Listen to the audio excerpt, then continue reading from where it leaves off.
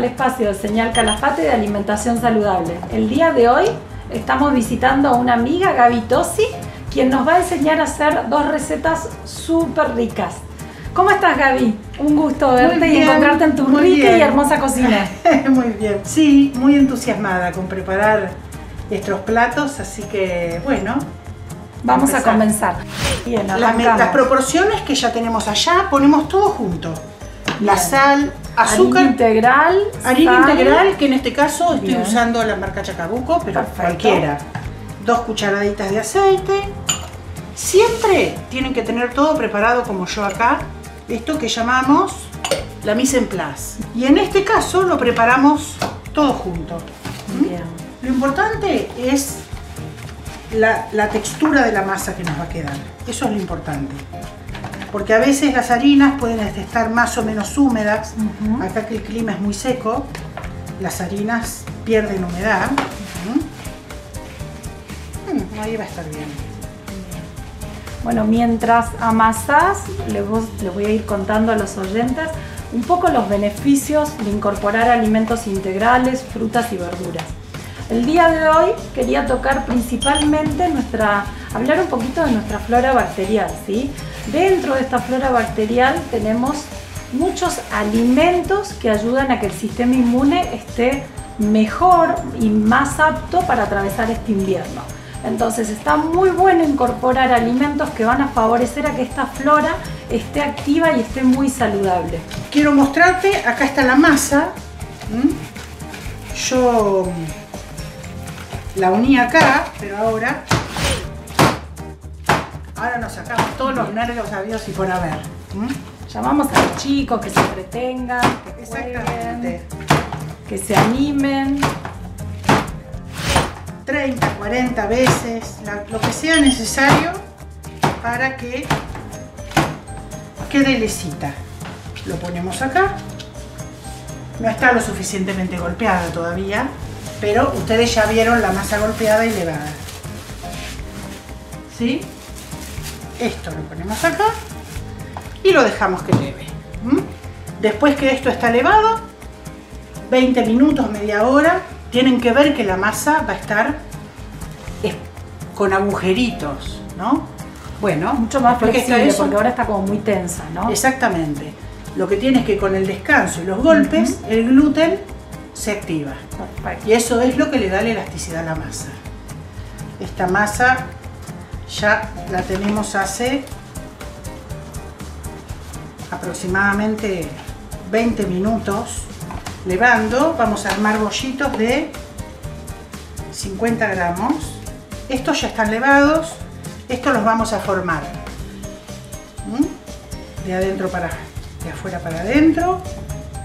Hacemos una vueltita y los dejamos formaditos. Esto nos va a permitir que con el gluten ya activado le vamos a dar tensión a la masa porque estos son panes que no tienen miga. Cuando los cocinemos se van a inflar son muy finitos.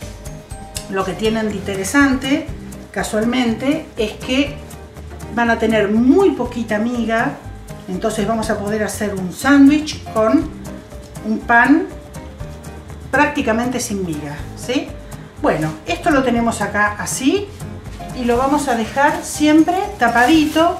Yo le pongo un, folio así, siempre levando en un lugar tibio y estos que ya están con el primer levado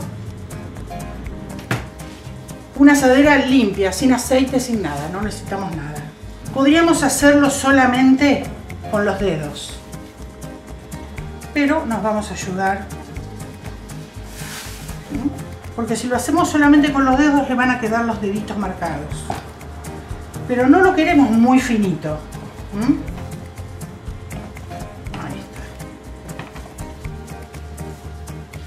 si no tienen balanza lo que hacen es la masa que preparamos de esta receta de 250 gramos de harina integral.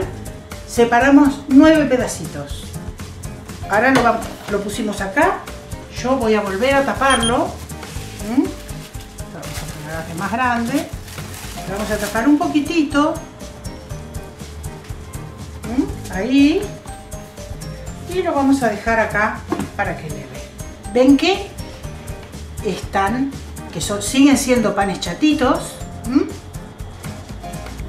Crecieron un poquito nada más y los vamos a meter en un horno bien fuerte. Cocción corta. Bien. ¿Cuánto tiempo más o menos, Gaby? 3-4 minutos. Súper rápido. Genial. Sí. Se van a inflar. Ahí está pasando la magia. Los podemos cocinar más. ¿Por qué no los quiero cocinar más? Porque yo así los voy a congelar. Si fuera para consumir en el momento, los cocino un poquito más. Está bien para mostrar. En cuanto se enfrían apenas un poquito, Genial. Tibio ya lo podemos poner en el freezer. Porque este pan bien. tiene un poquito de aceite, pero si nosotros no le guardamos la humedad, se seca mucho. O esto se puede usar para, para hacer, qué sé yo, un sándwich con atún. Le pones lechuga, tomate. Pollo, el pollo que nos quedó el domingo para el lunes, para poder llevar eh, y salir una rodajita de, carne. de lo típico que comemos al mediodía, por ahí que compramos comida rápida. Dos minutos. Nada. Súper rápido, me encanta. Recetas rápidas, fáciles. Recomendación diaria del consumo de harinas integrales y productos integrales. Las mujeres y los hombres tenemos aproximadamente una recomendación de 25 a 35 gramos y está bueno incorporarlo en alimentos tan saludables como el pan. Aquí vemos los pancitos y quería contarles que al tener harina de salvado nos va a ayudar a manejar mejor las glucemias en ayuno, ¿sí? ¿Qué significa? Las personas que tengan problemas con el azúcar o que sean diabéticas pueden mejorar sus glucemias a través del consumo de alimentos con fibra, con salvado. También aquellas personas con problemas de hipercolesterolemia. ¿Vieron cuando el médico les dijo que tiene el colesterol un poquito alto? Bueno, este es un buen momento para incorporarlo, porque la fibra produce micelas, o sea, produce pelotitas que ayudan a que las grasas en el intestino se puedan eliminar. Espero que lo incorporen en su dieta a diario.